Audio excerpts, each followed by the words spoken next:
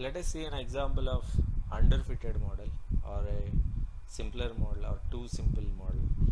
Uh, it's very easy to identify the underfitted models. Their accuracy on the training data itself is very low.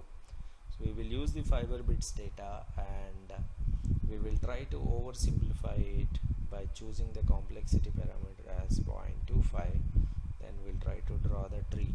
Generally oversimplified tree generally gives us an idea. So I just grew the tree just till three nodes only. There is only one level.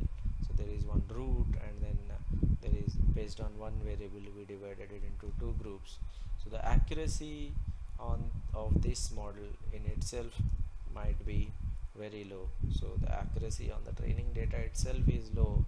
And on test data definitely it will be even lower so that is the problem with underfitting. So we have really missed out on the useful information within the training data. We oversimplified the model. We can do we can put but bit more effort to increase the accuracy. The model itself is uh, having some bias okay? We did not uh, fit a good model to start with. This is called example of underfitting so let us do a recap of models with huge bias and huge variance. So overfitted models so they will have low bias. That means we don't lose any information which is there available in the training data set but they will have huge variance because we try to overfit every variation within the training sample so that we are fitting a best model just for that data set. Whenever there is a small change from that data set we tend to uh, have we tend to make lot of error. So uh, overfitted model will have low training error so low bias high testing error. So it's a very highly unstable model high variance. The coefficients of the model change with small changes in the data. Even if we make small change in the data the model whole model might change a lot okay? That is called overfitting or the model with huge variance. The underfitting high bias low variance. There is already a certain bias in while building the model itself. We are training data error itself is high and testing error will almost I mean even definitely more than training error. It's a stable model. It has low variance. Uh, the coefficient of the model doesn't change. Uh, but what is the real use of it? The training error in itself is really high. So how do we understand this variance and bias in an easy way? Look at these uh, four uh, diagrams. In that look at the bottom left one so if our aim is to hit the center of the circle using the model we want to predict the center of the circle. And if we are putting all of them together near the center that is the model with low bias and low variance. Now come to the second one from in the bottom that is the right right hand side uh, diagram. So this model has very high bias but low variance. All the points that we are hitting are very nearby but they are not near to center. So that is with high bias low variance. Now come to the uh, diagram that is there on the top left. So this model has low bias. Most of them are near to center but very high variance. None of them are very close to center they have high variance they their cluster I mean the spread is really high. So this model over here this model over here has low variance I mean low bias which is uh, near to center but high variance. Now this model has high bias so none of them are near to center. By default they are anyway not near to center and high variance in themselves. This one has high bias they are not near to center but low variance most of them are near the point.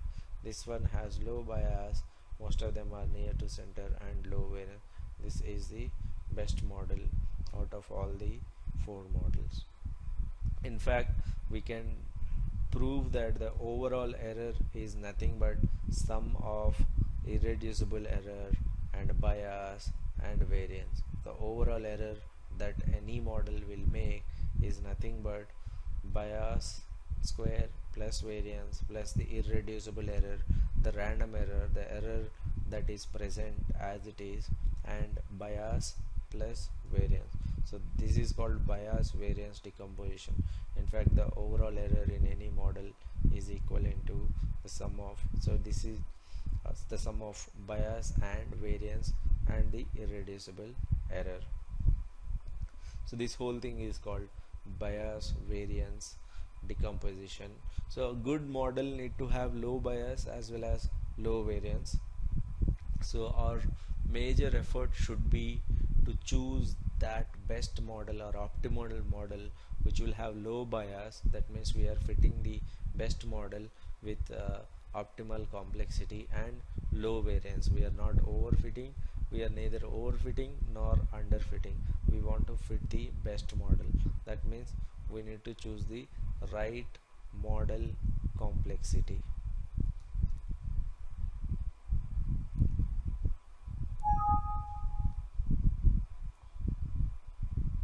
And how do we choose the best model? So there the overall error is sum of bias and variance. So how do we consider this bias variance trade-off and then finally choose the best model. So as the model complexity increases as the model complexity increases we can see the bias reduces. If you remember a simpler model will have higher bias and as the model complexity increases the bias actually reduces. And we have also observed that as the model complexity increases first the variance reduces but the later on as the model complexity becomes really really high then we tend to overfit then the variance of the model increases. So the best spot is the one with least value or the optimal value of bias and variance. So these are the model. Maybe we need to choose the model complexity that way. Let's say if this is number of parameters 1 2 3 4 let's say this is 10 and we created some dummy variables and uh, indicator variables and uh, the interaction variables and total we made 20 so with 20 variables the variance is high bias is low with uh, you know 5 variables.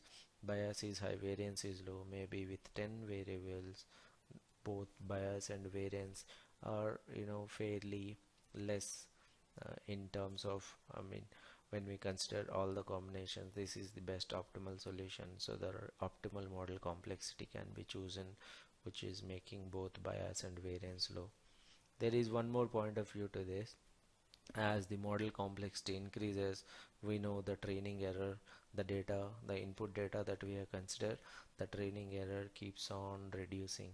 If we increase the complexity we tend to fit the model for the you know hidden patterns in the data or even random patterns in the data so the training error keeps on reducing.